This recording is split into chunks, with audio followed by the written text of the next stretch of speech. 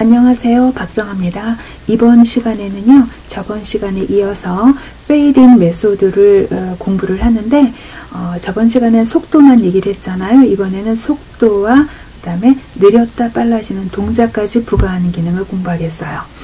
자, 속도를 할 때는, 속도를 부여할 때는 이제 숫자라면은 따옴표 적지 않고 적는 거고, 천이면 1초란 얘기고요. 그 다음에 문자열, slow 또는 fast가 있는데 그땐 따옴표를 한다 그랬어요. 근데 그것 말고 어, 사실은 이 fade in 기능이 실행될 때 일단 3초, 3천이니까 3초를 예로 들게요. 그럴 때 어, 동작이 있어요. 사실은. 그래서 자 처음 1초, 가운데 1초, 마지막 1초를 끊어서 생각을 해볼게요. 자, 처음에는 원래 기본 동작이 그래요. 기본 동작이 swing이라는 기본 동작이 들어가 있는데 이것은 뭐냐면요. 처음에는 느리게 실행이 돼요.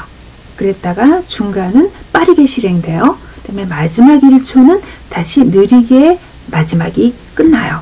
마지막으로 끝나요. 이렇게 실행되는 것을 스윙이라는 동작이라고 부르는데 어, 그것이 기본 동작인데 그렇지 않고 처음과 마지막과 끝이 동일한 시간을 가지고 실행되길 바란다면 이렇게 linear라는 문자를 적을 수가 있어요. 스윙 대신에 linear라고 적으면 되겠죠. 속도와 동작을 같이 적게 하고 싶다면 이런 식으로 이런 식으로 매개 변수 안에 뭐 3천 그다음에 쉼표하고 문자열이니까 따옴표 속에 linear라고 적으면 되겠어요. swing은 기본 동작이니까 swing을 하고 싶다면 적지 않으면 되겠어요. 이것을 공부해 보도록 하겠습니다. 자, 지금 이렇게 되어 있는 상태예요. 자, 저번 시간과 저번 시간과 마찬가지로 fruits라는 아이디를 가진 섹션 안에 이렇게 버튼이 있고 이미지가 있습니다. 자, 해보도록 하겠습니다. 자, 아이디가 fruits 자식 요소 중에서 버튼을 클릭한다면 동작하는 거죠. 이 method 안에서 function. 자, 요 중괄호 안에서 동작을 집어넣는 건데, 자, 무엇이 fruits가? 자, fruits인 요소의 자식 요소 중에서 이미지가 동작해야 되죠. 이미지가 세 개인데 차례차례 실행되게 하고 싶다면 eq를 적는다 그랬죠. 0이면 이미지 세개 중에 맨 처음 게 0이라 그랬어요. 그 다음에 fade in이 되는데 fade in이 되는데 예, 아무것도 적지 않으면 약 0.4초고요. 적을 수가 있어요. 우리는 2000 해볼까요?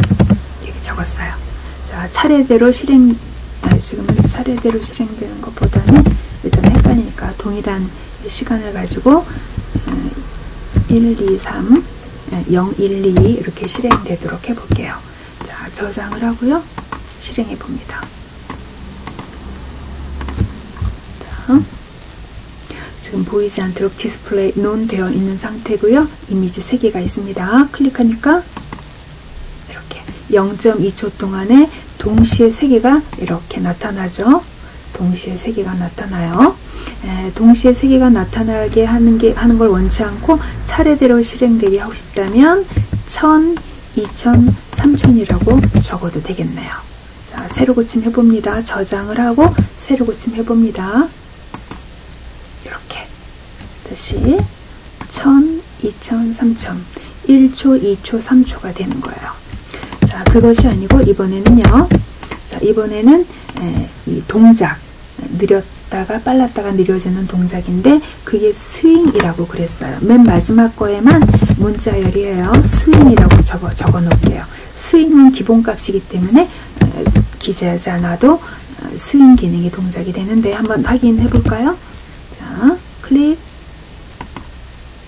똑같죠? 아까와 같은 음, 속도를 가지고 있다면 스윙은 기본값이라는 걸 알 수가 있어요. 자, 이번에는요, 스윙을, 자, 기본값이니까 위에다 적겠습니다. 여기에는 스윙 말고 하나가 더 있다 그랬죠? 리니어. 그죠? 처음과 중간과 끝이 동일한 속도로 부드럽게 나타나는 기능이 실행된다 그랬어요. 리니어. 자, 저장하고 새로 고침해 보겠습니다. 클릭. 자, 리니어니까 원래 스윙은 느렸다가 빨라지는 건데 어, 리니어는 처음부터 같은 속도이기 때문에 사실은 실행될 때 이 두 개보다는 더 먼저 실행이 되겠네요. 다시 한번 확인해 보세요. 그죠? 약간 더 빠르게 실행되죠? 자, 그래서 이번 시간에는 fade in에서 속도와 그다음에 느렸다 빨라지는 동작을 조절하는 것까지 공부했습니다. 자, 다음 시간에 뵙겠습니다. 안녕히 계세요.